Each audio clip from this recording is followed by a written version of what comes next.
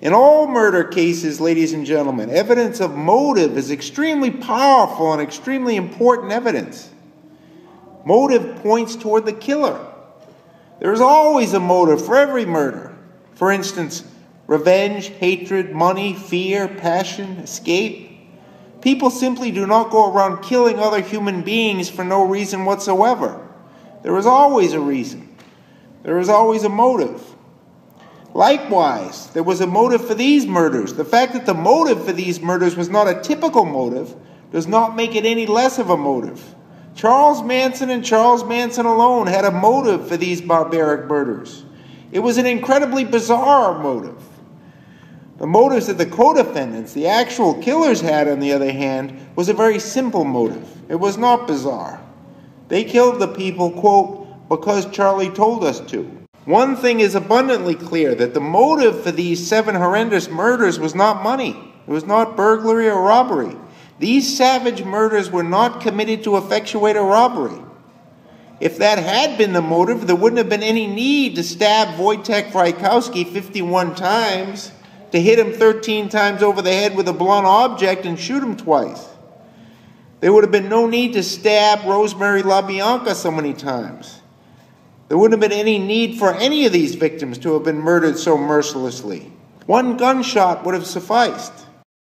And if robbery or burglary had been the motive, there wouldn't have been any need to print the words in the victim's blood at the scene of both residences. In view of the unbelievably savage nature of these murders, and in view of the fact that hardly anything at all was taken from either the Tate or the LaBianca residences, in view of all the other evidence in this case, including the statements of Manson, Watson, Atkins, that I have just referred to, a conclusion that these seven murders were perpetrated to help carry out some burglary or robbery would not seem to be consistent with the evidence in this case. The mission, ladies and gentlemen, the mission of these defendants on both nights was murder. Clear and simple murder. No other reason. Now, why were these murders committed? Well, this trial answered that question. There appears to be three motives for these murders. There was Manson's hatred, his hatred for human beings, and his passion and lust for their violent death. Anyone who could order these seven savage, horrendous murders had to have a lust, a passion for violent death. The evidence at this trial amply showed Manson's complete immersion and engrossment and preoccupation with death, blood, and murder. Another motive, another motive was Manson's extreme anti establishment hatred. Unquestionably, on both nights, Charles Manson was viciously striking out at the establishment. And with respect to the Tate residence, particularly, the establishment's rejection and repudiation of him. Of course, the principal motive for these murders, the main motive, was helter skelter. Manson's fanatical obsession, his mania with helter skelter. Helter Skelter was Charlie's religion, a religion that he lived by. To Manson, Helter Skelter was the black man rising up against the white man, and then the black white war. Keep this in mind, ladies and gentlemen, that murders, as extremely bizarre as these murders were, almost by definition, by definition, are not going to have a simple, common, everyday type of motive. Just imagining the incredible barbarism and senselessness of these murders would lead one to conclude that the person who masterminded them had a wild, twisted, bizarre reason for ordering them. The evidence at this trial shows that Charles Manson is that person who had that motive, and the trial showed what that motive was. I, as a prosecutor, and you folks, as members of the jury, cannot help it. We cannot help it if Manson had this wild, crazy idea about Helter Skelter. It's not our fault. Manson is the one that made the evidence, not us. We can only deal with the evidence that presents itself.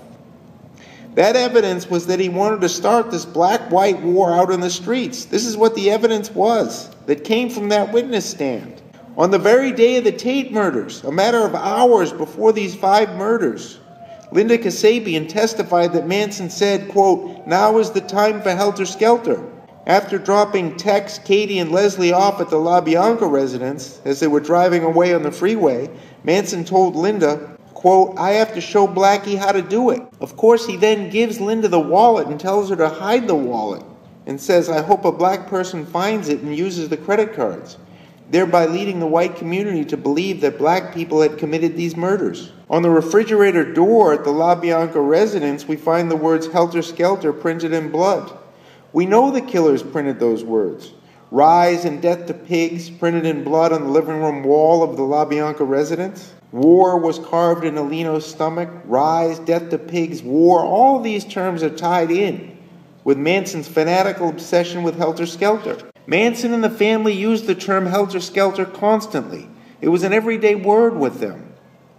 Even a song composed by Charles Manson had the words helter skelter in there.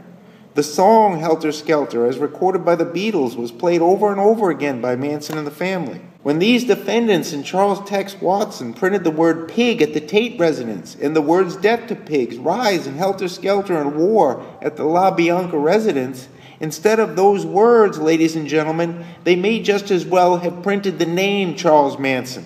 It is that obvious. Those words and Charles Manson are synonymous. The prosecution at this trial put on some very, very powerful evidence of motive. All of it, all of it, unerringly and irresistibly pointed in one direction toward these defendants, and particularly Charles Manson.